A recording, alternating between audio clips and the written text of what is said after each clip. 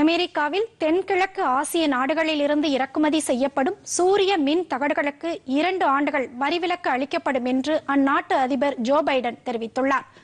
உள்நாட்டு பசுமை மின் உற்பத்தியை ஊக்குவிக்கும் வகையில் பல முக்கிய திட்டங்கள் மேற்கொள்ளப்பட்டு வருவதாகவும் அதன் ஒரு பகுதியாக சூரிய மின் தகடுகளுக்கான உதிரி பாகங்கள் வெப்ப குழாய்கள் உள்ளிட்ட பொருட்களுக்கு இந்த வரிவிலக்கு அமல்படுத்தப்பட்டுள்ளதாகவும் வெள்ளை மாளிகை அதிகாரிகள் தெரிவித்துள்ளனர்.